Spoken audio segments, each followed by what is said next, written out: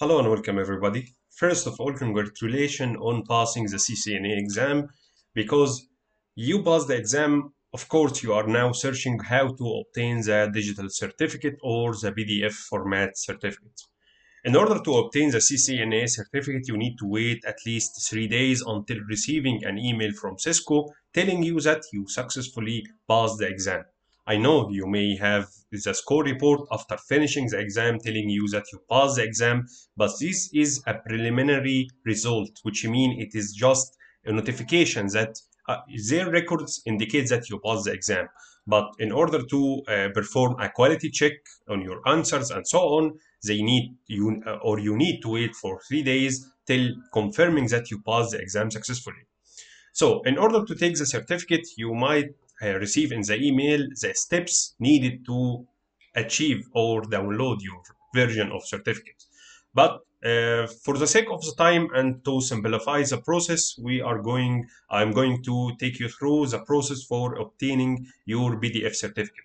So what you need to do is to open your browser and open Google website and then search for Certimetric, then add keyword Cisco and choose the first result, which is ciscocertimetrics.com.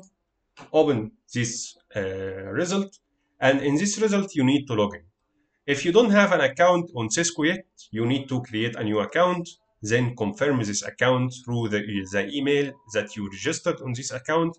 And the most important point in this part is you need to register your Cisco account with the same email address you, you registered with on Pearson VUE or you uh, scheduled the exam with, which mean when you schedule the exam on Pearson VUE, you uh, of course put an email address. Use this email address to register with Cisco website as well. If you didn't use a Cisco e uh, an email address during registration, then uh, you probably need the uh, score report which you received from the test center after passing the exam. The score report should look like this and all what you need is the registration number, which is hidden by this candidate. After uh, logging to the website, so assuming that you already have an account and you uh, already uh, activated this account, the process of creating account is very straightforward. So I, I guess there, was, there will be no problem in creating an account then you will redirect it to the home page or the first page in Certmetric. And as you can see here, it is indicating that it's my first time in login.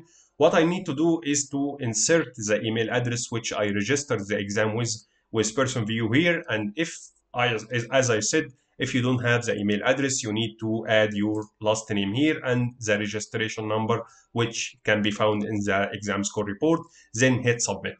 After hitting submit, you will be redirected to the Certimetric uh, final page. And uh, in this page, uh, regularly, you, you will have uh, the first page will be the certifications, uh, personal info, testing history, and certification.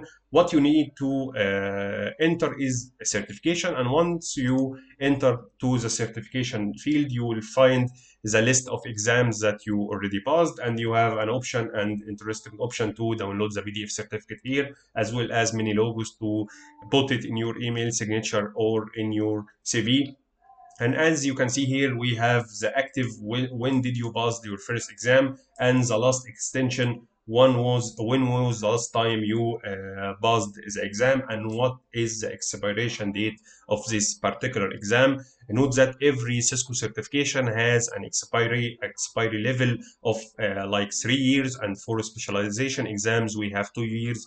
Uh, so you need to renew your CCNA before this date. Uh, by the way, uh, the, that's all about the Certimetrics and how to download the PDF certificate. You need to press here in order to download your PDF certificate. But what if uh, you need another option to get the certification, which is the badge? The badge is a new way to express that you have a certifications and there are many vendors or many websites that offer you the digital badge benefit. One of these uh, websites or uh, these authorities which is provide, uh, authorized by many of the vendors like uh, like Cisco, like Trust, uh, uh like uh, Fortinet, and many other vendors is Credly. what you need to do with Credly is you need to create an account with the same email that you created an account with on Pearson VUE and on Cisco account and on Cisco Certimetric account. After creating an email, after granting you a certificate by Cisco, Cisco will notify Certimetric that if you have any candidate registered with this email, please grant him a badge for CCNA, for example. As a result, as a candidate, you will get this badge in your uh, Credly uh, profile, and this badge will provide uh, good information about uh, what, what is the entity that issuing this badge, uh, what what are the skills you you learned through your journey in order to learn this badge, what was the cost, uh, what what was the curriculum, or let's say what was the content of the exam, and what was uh, what is the most uh, demanded job titles for people who uh, have uh, or who has this badge.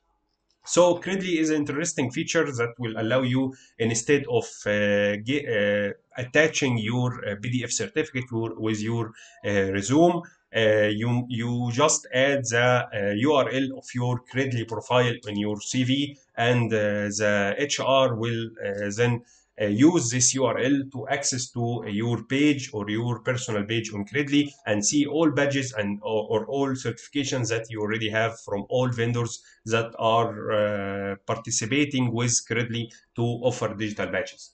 So uh, that was all for uh, this video. I hope this video was uh, interesting and uh, provided an add value for you. If you like this video, don't forget to subscribe and like and share with anybody who might be interested in this topic. Thank you very much and goodbye. Bye bye.